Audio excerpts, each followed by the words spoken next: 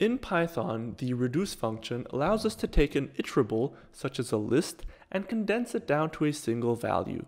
Let's have a look at what reduce does and how it works, then we'll look at the syntax and the optional argument we can add to it, and finally we'll have a look at how reduce works with lambda functions. So let's say we have a list over here, and we would like to find the sum of this list. One way we could go about doing this is to create a variable called total, set it to zero, then create a for loop and add each of the individual numbers in the numbers list to the total. And finally, print out the total. So if I execute this, you can see the value down here is 15 in the console output, and that is exactly the sum of the numbers in the list. So that's great, but there is another faster way to do this, which uses the reduce function. So let me scroll down a little bit. Over here in this code snippet, you can see that I imported reduce from the functional tools module. And I have the same list of numbers as I had in the example above. Then I went on and defined a function called sum, where I'm taking the sum of two values. So over here, I have x and y as two inputs, and I'm returning the sum of both of them. And at the very end, I'm printing what the reduce gives me if I put in the sum function as an argument and the numbers list as an argument. So you can see here, usually when we use reduce, we have a function in first place in the first argument and a um, list set or tuple or any sort of iterable as the second uh, parameter.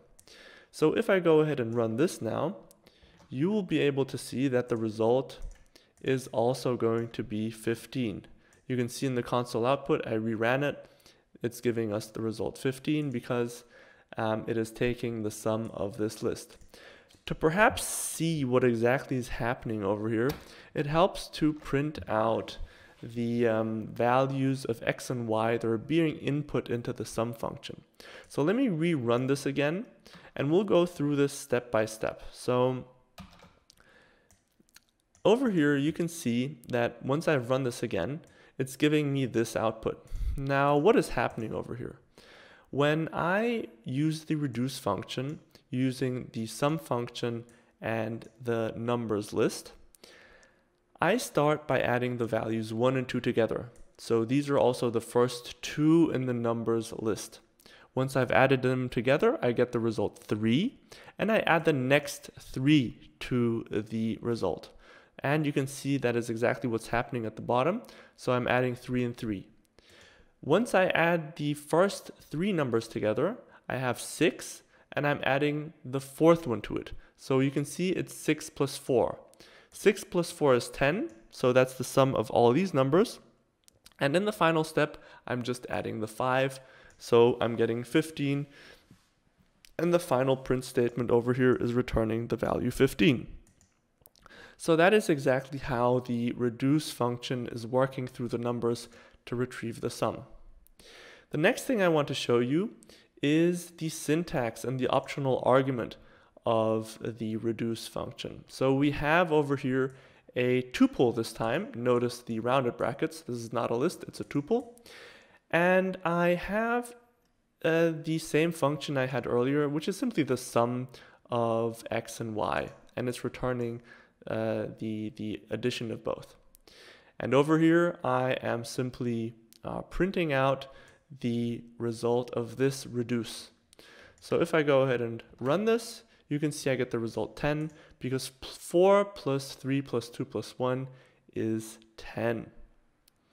All right, so now I want to show you that usually we do put a function in the first place, a iterable in the second place, but there is something else we can add to this function as an argument, which is an initial value. So notice what happens when I add 10 over here, then the total that I get at the end is going to be 20 because it simply adds the initial value to the um, sum of the uh, values from the list.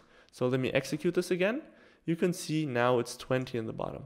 So the initial value, which is the third and last argument that you can add to this reduce function, simply tells us what value to start at. Okay, the final thing I want to cover is using the reduce function with lambda functions. So over here I have a numbers list, 2, 4, 6, 8, and 12. And as I mentioned earlier, the first argument in the reduce function uh, is a function itself, but that function doesn't necessarily need to be defined explicitly. It can also be an anonymous function such as a lambda function. So over here you can see that if I choose to simply retrieve the sum of all the values, I can create a lambda function with two inputs that simply sums up the values. So if I go ahead and um, execute this, you can see I get 32, which is the sum of all the numbers in this list. Similarly, if I choose to find the maximum value in a list, we want to retrieve the maximum over here, I can execute this second statement over here, which simply checks if um, a value x is greater than y, then it is um, leaving the x. Otherwise, it's putting the y. So if I go ahead and run this, you can see it outputs the total value, 12, uh, the, the maximum value, which is 12.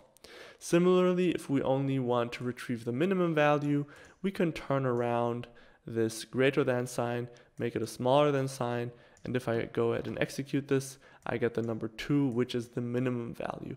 So what I want to show you here is that we can also use these lambda functions instead of explicitly defined functions.